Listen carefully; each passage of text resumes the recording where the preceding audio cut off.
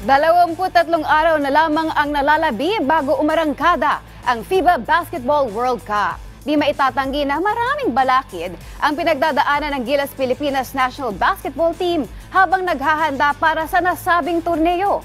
Kung ang dating Gilas coach na si Tab Baldwin ang tatanungin, anong grado naman kaya ang ibibigay niya sa preparasyon ng pambansang koponan? Narito si Rafael Bandayrel para sa mga detalye. Walang duda na hindi madali ang pinagdadaan ng preparasyon ng Gilas Pilipinas para sa paparating na FIBA Basketball World Cup. Kakulangan ng oras ng pag-iensayo bilang isang buong koponan at mga hindi inaasahang injuries. Ito ang dalawang pinakamalaking balakid na nakikita ng dating Gilas Pilipinas head tactician na si Tab Baldwin. Gilas is, is in the midst of uh, you know trying to get all the players in and and get some quality games. And you know, I think the build-up is is something that every coach worries about. You know, do they get it right? And you, you get whatever you can.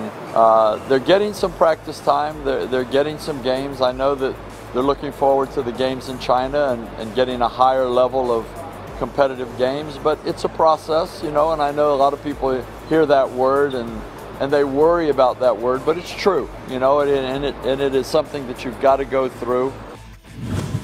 Sa pananaw ni Baldwin, ito ay mga bagay na wala na sa kontrol ng coaching staff at management team.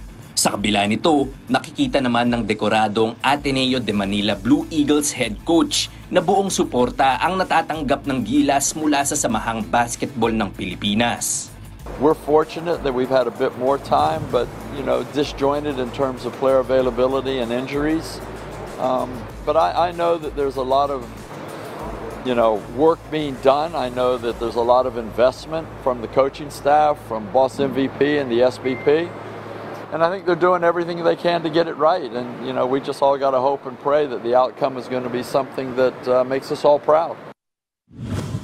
23 araw bago ang FIBA World Cup, nasa China na ngayon ang koponan kung saan lalhok sila sa isang pocket tournament bilang paghahanda sa prestihiyosong torneo.